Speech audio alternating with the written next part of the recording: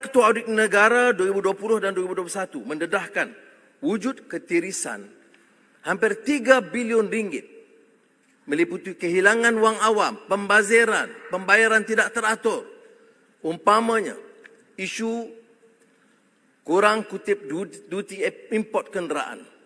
Kerajaan telah hilang 72 juta ringgit hanya disebabkan proses kutipan duty import yang lemah.